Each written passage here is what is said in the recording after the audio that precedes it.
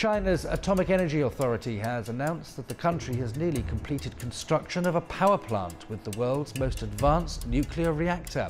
And China is poised to revolutionize the nuclear energy landscape. The Asian giant wants to build the world's first thorium-based molten salt nuclear power station, a development that could reshape global energy production. China has built the world's first working thorium molten salt reactor, reviving a technology once abandoned by the world.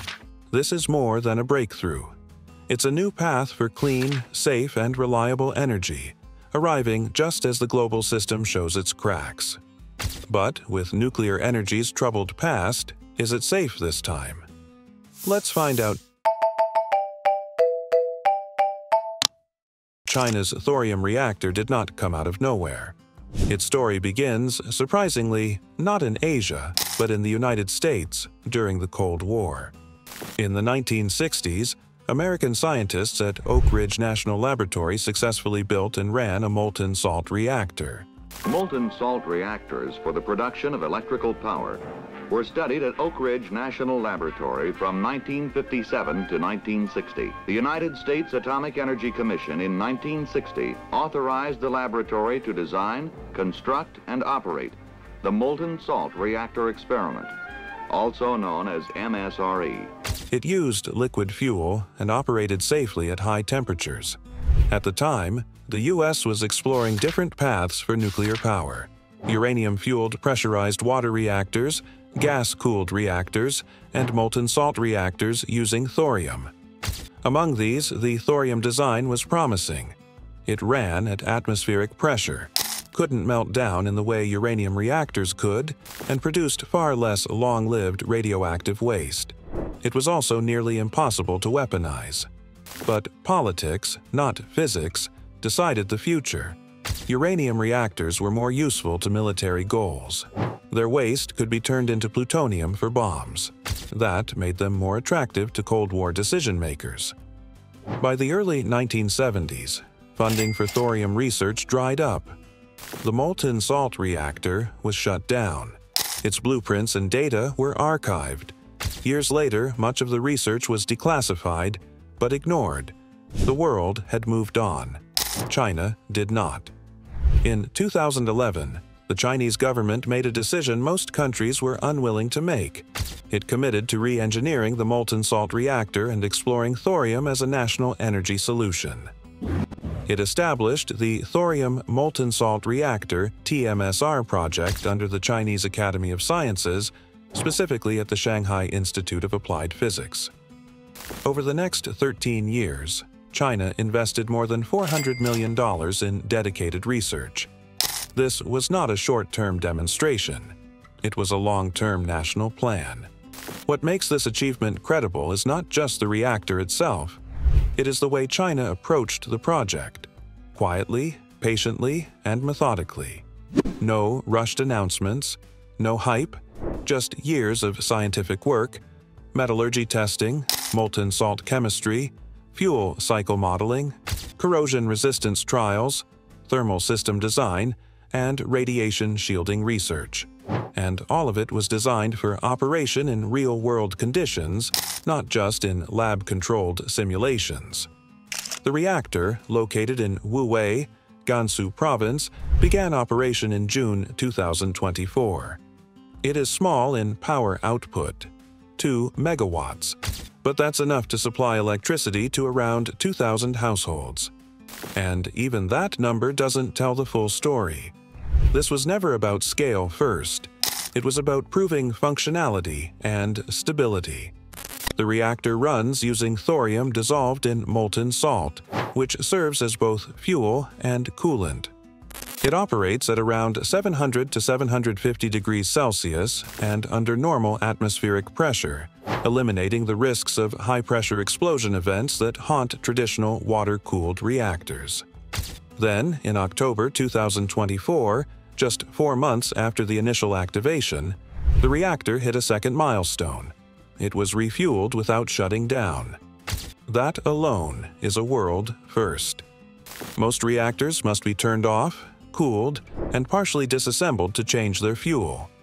But molten salt reactors are different. They allow continuous feeding of thorium and removal of fission products. The system can run without pause. This isn't just more convenient, it's more stable, more efficient, and far cheaper over time. China didn't just bring back a forgotten technology, it advanced it further than anyone else ever has. And it didn't happen by chance. The country combined historical US knowledge with its own R&D, materials science, and advanced reactor modeling tools. This isn't imitation.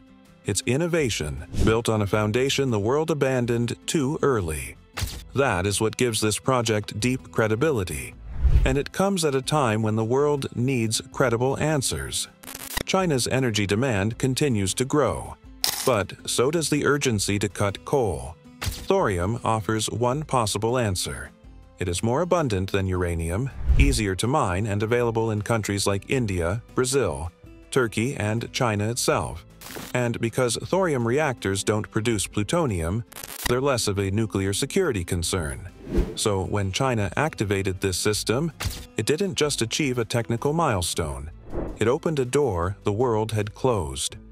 It proved that with time, money, and engineering discipline, one of the safest and cleanest nuclear technologies on record can move from history books into real deployment. But technical success is only part of the equation. To understand the full weight of this moment, we have to ask, what does this mean for people, for energy users, and for countries that still rely on coal, diesel, or unstable power grids? Because the real power of this machine isn't just what it does, it's what it changes. When people hear about a nuclear breakthrough, they often assume it's a project built for government labs or defense departments. But this reactor isn't just for headlines. It matters because it directly responds to the problems real people are living through rising energy costs, toxic air, power outages, and the growing pressure of a planet in crisis. Today, 770 million people still live without electricity. Over 2 billion rely on dirty fuels like coal, kerosene, or wood to cook their meals and light their homes. The Global South, particularly in parts of Africa, South Asia, and Southeast Asia, faces an impossible choice continue burning fossil fuels and poisoning their air, or wait decades for expensive, often unreliable renewable grids to catch up. Nuclear energy was once seen as the third path, but trust in it has collapsed. Chernobyl, Fukushima, and radioactive waste stories have left deep scars. Even clean energy activists hesitate to talk about nuclear solutions, fearing public backlash. That's why China's molten salt thorium reactor is not just a machine. It's a reset button. This system removes the very problems that made people fear nuclear power in the first place. There is no high-pressure steam, so there is no explosion risk. There are no giant water cooling towers, so it can be built far from rivers or oceans. If the power supply fails, the system shuts itself down automatically. The molten salt freezes, stopping the nuclear chain reaction by physics alone. That means no operator error, no backup diesel generators, and no panic response teams. But even more important is what this means for air quality and health. Every year, air pollution from fossil fuels kills more than 7 million people worldwide, most of them in low and middle income countries. In northern China alone, coal-burning power plants have contributed to a significant public health crisis. Respiratory illnesses, childhood asthma, and premature deaths are part of the hidden cost of cheap energy. Nuclear energy, especially thorium-based systems, offers a clean alternative without those costs. There are no carbon emissions, no sulfur dioxide, no nitrogen oxides, just reliable electricity with minimal waste. For many Chinese scientists who worked on the Gobi reactor, this was not just a research project. It was a solution to a problem they saw in their communities.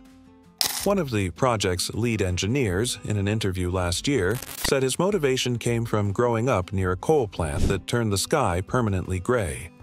His goal wasn't to win global attention, it was to stop that from happening to someone else's children, and there's more.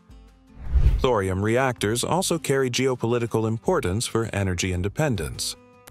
Traditional nuclear power relies on uranium, much of which must be enriched and processed through a small group of countries.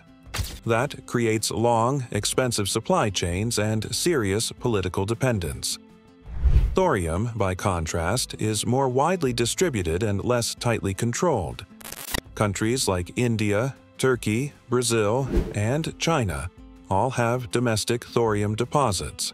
That means this technology could help dozens of countries avoid energy poverty without relying on foreign fuel or unstable markets.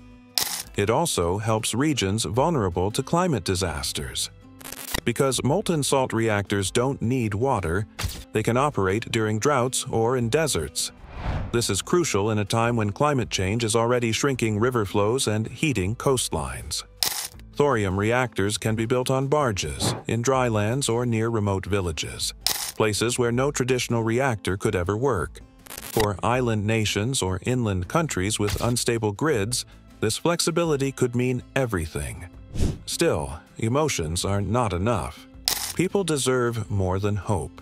They deserve evidence. So the next question is clear. Can this system scale up? Can it consistently deliver power efficiency, and safety. And how does it work on a technical level? Now it's time to leave the personal and social sphere behind and look directly at the science. Because if the engineering doesn't hold up, none of these benefits will matter. The Chinese thorium molten salt reactor isn't a marketing concept. It's a real machine, designed around the strict principles of nuclear physics, thermal engineering, and material science. And now, with its success in Wuwei, Gansu province, the technology is finally on display for the world to study. Let's begin with the fuel itself. Thorium-232 is not fissile on its own. That means it cannot sustain a nuclear chain reaction the way uranium-235 or plutonium-239 can. Instead, thorium-232 is fertile. When it absorbs a neutron, it becomes thorium-233.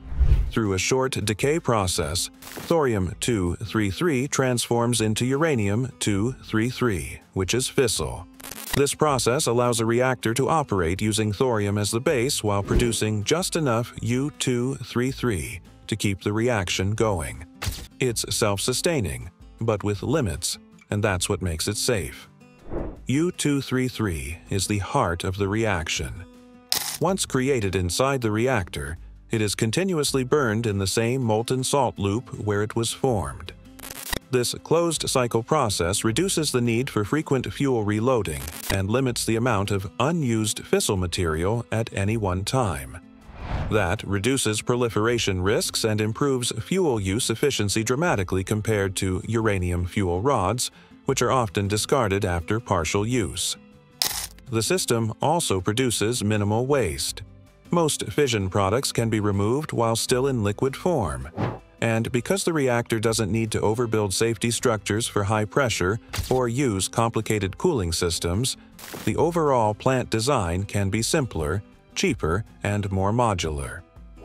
Unlike uranium and plutonium reactors, thorium systems produce very little waste that can be used for weapons. U-233 is fissile, but when bred in molten salt systems, it becomes contaminated with U-232, a highly radioactive isotope that emits strong gamma rays and makes handling extremely dangerous. That makes diversion or weaponization difficult and unattractive. In terms of volume, thorium reactors produce less than one-third the nuclear waste of a uranium reactor.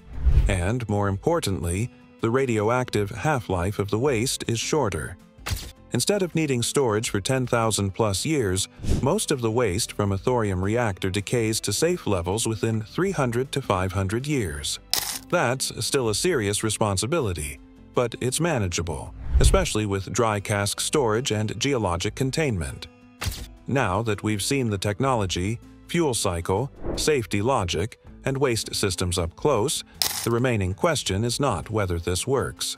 The question is what comes next. China has already announced plans to scale the Gansu prototype from 2 megawatts to 10 megawatts by 2030. That will demonstrate the system's ability to serve mid-size towns and industrial facilities. From there, modular designs could follow. Factory-built reactor packages, easily shipped, installed, and connected in remote areas. The same molten salt loop could also be adapted to burn different fuels, including uranium-233, or be hybridized with high-temperature chemical processing for green hydrogen. This opens a new energy category, one that is not tied to old models of centralized grids or massive state-run utilities. It's nuclear power designed to be flexible, scalable, and safe enough to build near cities or in remote areas. But perhaps the most important change is psychological. By turning on this reactor, China has reminded the world that energy breakthroughs are possible, that a clean nuclear option exists, that with enough time and commitment, even discarded ideas can be brought back to life and made stronger. This is no longer about theory. The molten salt is flowing. The thorium is working. And the next steps are no longer technical. They are political and moral. Will other countries follow? Will global institutions support it? Let us know in the comments section. Will the public accept it? Do you want to watch more videos like this one? If yes, subscribe to our channel and press the bell icon next to it. We have decided to bring videos on something nobody talks about, China's projects, economy, and increasing power. Thanks for watching, and until the next video, stay tuned.